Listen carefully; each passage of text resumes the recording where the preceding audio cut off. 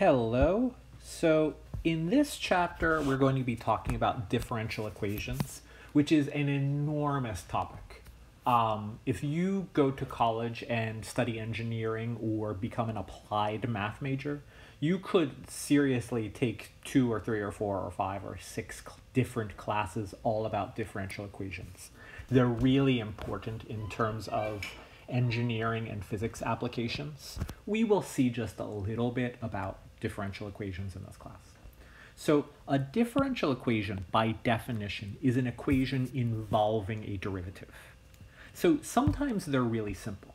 So here, this is an example of a differential equation, and I'm telling you that the derivative of y is 3x squared.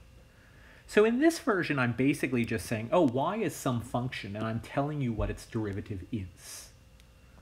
But another example could be something like y equals 3y squared. And this is very different. This top one is basically saying what y prime is, which function is the derivative. While this one is describing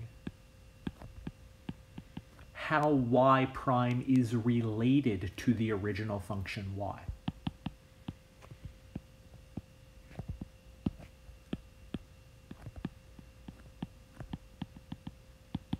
it's not telling you which specific function y prime is. It's just saying, oh, I'm thinking of some function where it turns out taking the derivative of the function and taking function squared times 3 give me the same result. But I'm not actually telling you which function is the derivative or which function is y. I'm expressing a relationship. And lots and lots of mathematical and scientific principles are explained using differential equations. There are certain things where we actually understand the principle in terms of a derivative and would work backwards to figure out the value. So let me just give you some examples so that you can get a sense of why people care about differential equations. We could have proportional growth. So suppose we have a population and it grows at an instantaneous annual rate of 3% per year. So every year the population gets bigger by 3%. Technically that's not right. We mean this as an instantaneous rate. 3% is not a specific number. 3% means 3% of its size. So what's going on here is we're saying that the rate at which the population is changing is 3% of how big the population is. Right? The idea is if the population is 100,000, then it's growing at a rate of 3,000 people per year. If the population is 150,000, then it's growing at the rate of 4,500 people per year. The rate of growth is a certain percentage of the overall size. In this case, it's 3%. So this differential equation describes the way this population grows without actually telling us what the function is. This is not giving me a formula to plug into. It's just describing a phenomenon about the way in which the rate of change is related to the size of the population. Another example, and you may have seen this in pre-calc, is Newton's law of cooling. So suppose a hot cup of coffee is left in a 70 degree room. It turns out that the way that coffee will, would cool, if I made a graph here. So if I made a graph,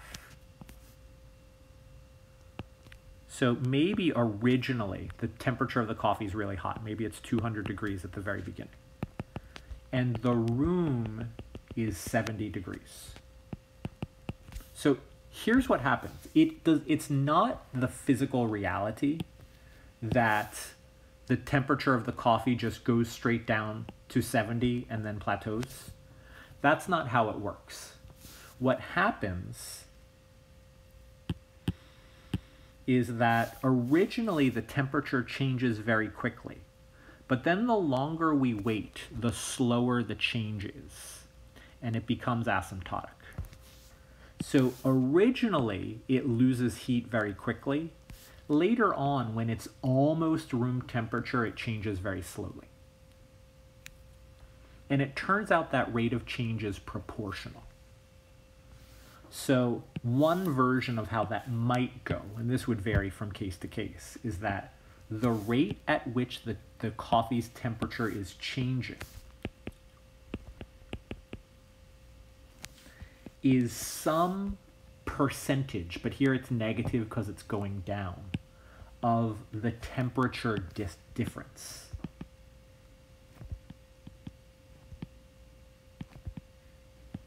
When the difference between the coffee and the room is very big, it changes quickly. When the difference between the coffee and the room is very small, it changes slowly. Again, I'm not telling you which function describes the coffee. I'm telling you how the rate of change is related to that function. Yet another example is harmonic motion. Harmonic motion describes how, for example, uh, a pendulum might swing back and forth or how a spring might bounce up and down.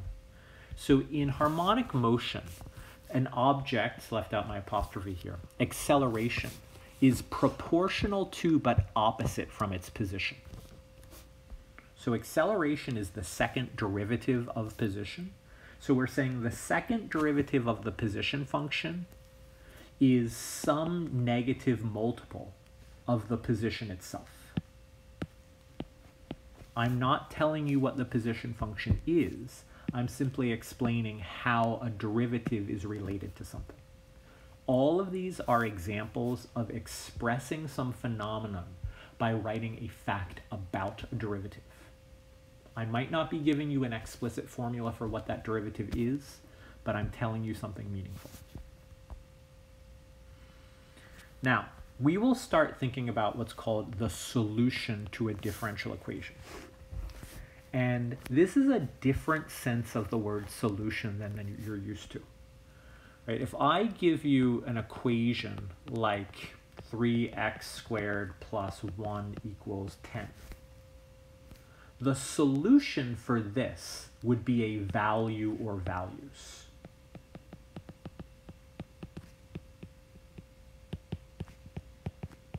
So for what for most equations, if I say solve this equation, I'm asking what is x?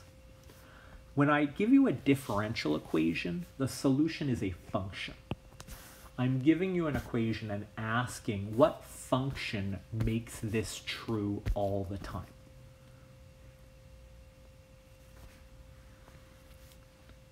So what do I say here? If there is a function that makes the differential equation true, that's called a solution, and there are probably lots of them. So a general solution is a function containing one or more parameters to describe a class. So it's kind of like an indefinite integral. Maybe it has like a plus c. We're saying, oh, there are a bunch of possibilities, but here's a general description of all of them. While a particular solution would be one specific function that meets some requirements. So let's look at an example here. I am say I, so I say show that y equals c times e to the negative x plus x minus 1 is a general solution to this differential equation. So let's notice I'm not asking you to solve this from scratch. Let's just do an analogy here. So as an analogy, if I give you the equation um, 4x to the eighth minus x to the fifth plus 3x cubed plus 17x plus 12 equals um, 35. If I said solve that, that's hard. But if I say show that x equals 1 is a solution to that equation, that's easy. I'm not saying from scratch figure out what the answers are. I'm saying just demonstrate that x equals 1 makes this true, and you could plug in and say, oh yeah, 4 minus 1 plus 3 plus 17 plus 12 really is 35. That's what's going on here. Read the words carefully. I'm not telling you to solve it from scratch. I'm telling you what a solution is, and I'm just asking you to show that. So here's the idea. To be a general solution means you make the differential equation true all the time. So here's how I could go about that. If y is equal to c e to the negative x plus x minus 1, and c here is some general constant, here's what I'll do. I will determine what function is y prime.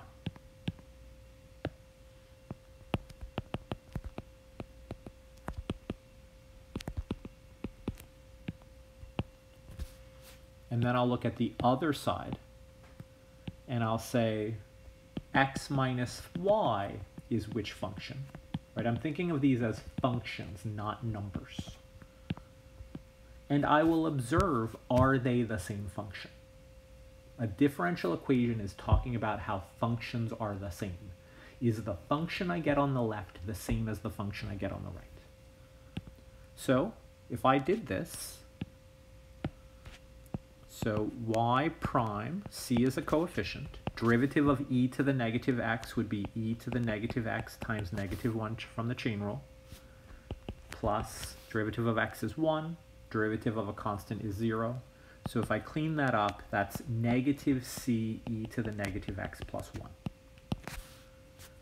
That is what y prime is. How about x minus y? x minus y is x minus, well, here I'm telling you what I want y to be. c e to the negative x plus x minus 1. So that's x minus c e to the negative x minus x plus 1. The x's cancel and I get negative c e to the negative x plus 1.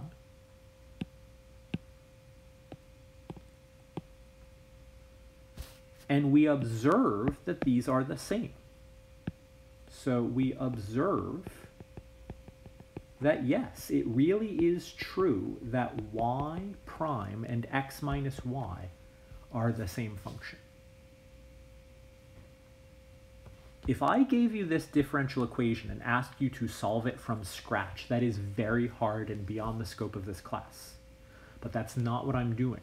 I'm already telling you what the answer is, and I'm just asking, do you understand what it means to be a solution?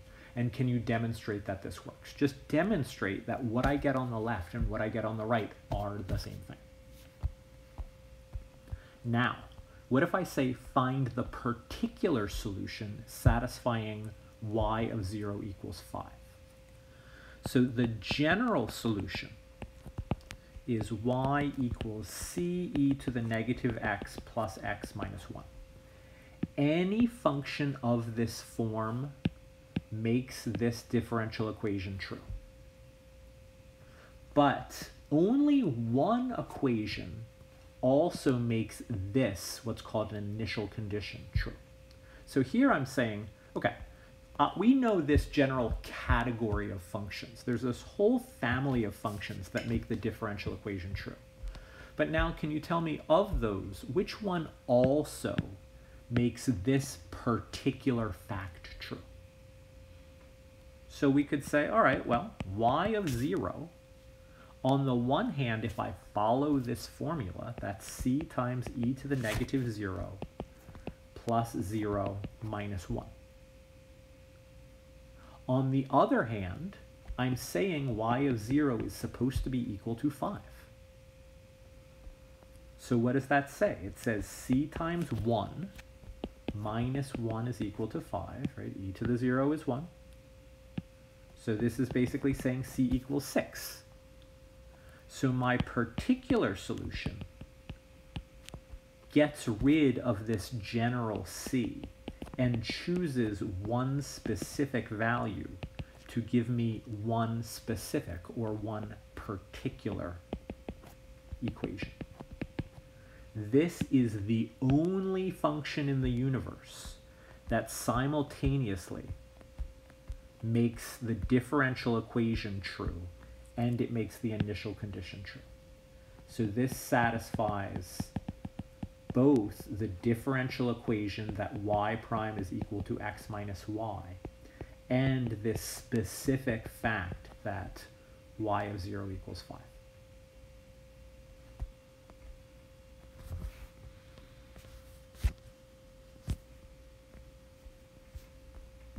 Okay, let's look at another example. And this is inspired by something that I have seen on AP free response.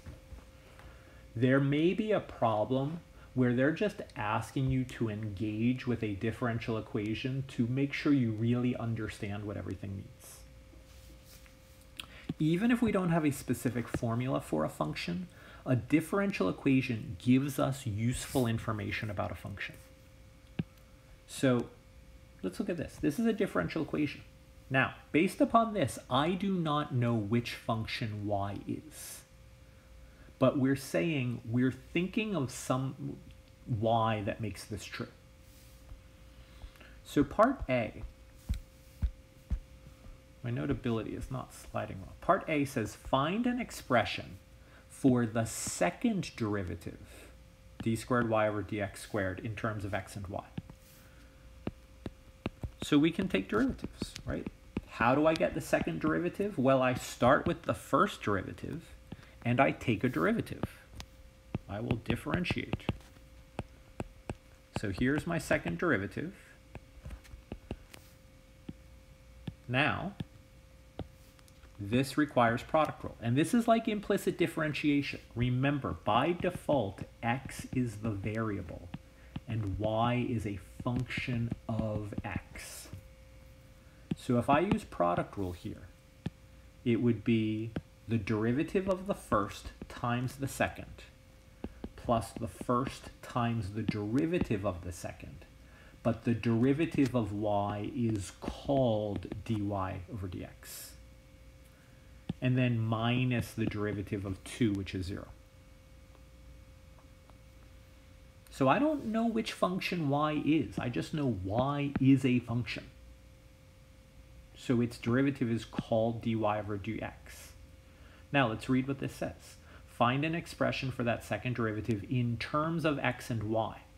Right now this is in terms of x, y, and the derivative. But hey, let's use this fact again. So it's a useful fact, let's use it. So this is the same, 1 times y is y dy over dx is xy minus 2. So here we go. This is an expression that explains now how the second derivative is related to other things. And you could distribute if you wanted to, it doesn't really matter. Now part B it says, suppose that y equals g of x is a solution to the, to the differential equation, so meaning this differential equation, and g of 2 is equal to 1. So let's make sure we understand this. What this is saying is g is a function that makes dy over dx equals xy minus 2 true. Another way of looking at that is to say it makes g prime of x equals x times g of x minus 2 true.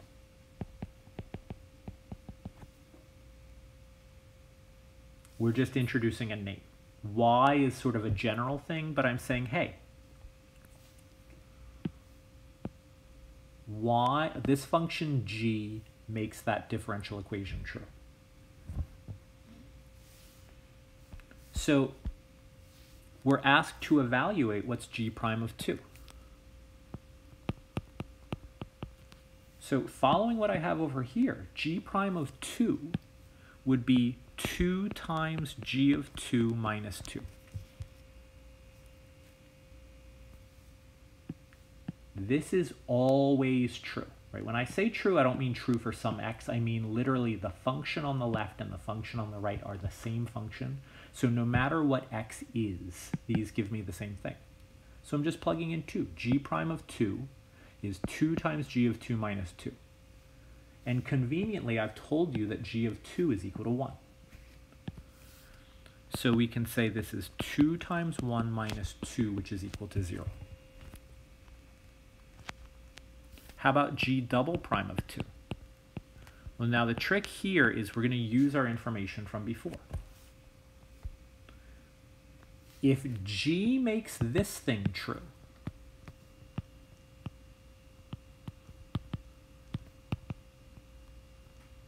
then also it makes this other one true because we got this fact about the second derivative from the first derivative. So we could interpret this as saying, oh, g double prime of x, that's the second derivative, is g of x, that's y, plus x times x g of x minus 2 in parentheses like that. So g double prime of 2, let's just plug in 2. So I'm sorry this is getting squeezed in a little bit, but g double prime of 2, I'm just going to take this equation and insert x equals 2. g of 2 plus 2 times 2 times g of 2 minus 2. So that's 1 plus 2 times 2 times 1 minus 2. That all works out to 1. So my writing there is a little tiny, but hopefully you can follow through.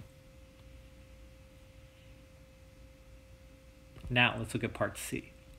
Use your information from part B to describe the graph of y equals g of x at the point 2, 1. Right? We know g of 2 is equal to 1. So again, we have never been given a formula for g, but we have information about g. So here's the point 2 comma 1. That's a point on the graph of G. I'll do this in a different color. What else do we know? We know G prime of 2 is equal to 0. So that means at that point, there is a horizontal tangent.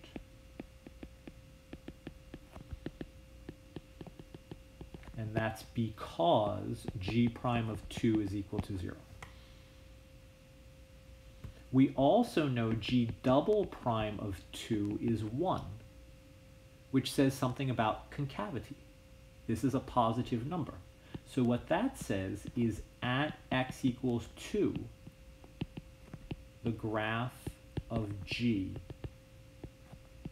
is concave up. So we don't know exactly what it looks like, but the graph is concave up and the tangent line is horizontal. So what we actually know is that we must have a local minimum. So G has a local minimum at x equals 2. We're using the second derivative test, if you remember that if the first derivative is zero and the second derivative is positive, we're looking at a local minimum. Um, this phrasing here is open-ended. When a problem like this appeared on the AP, I think they said something like, um, is the point at x equals 2, does g have a local minimum, local maximum, or neither? Justify your answer. So they kind of pointed you in terms of the conclusion they wanted you to draw. This is not an easy problem, but what I'm trying to demonstrate is that differential equations give useful information. We were able to identify all kinds of information about what's going on without ever knowing the specific formula for what y or g happened to be. We're just given information that roughly describes some aspects of g, and that's enough to do the problem. All right, I'm going to stop this video.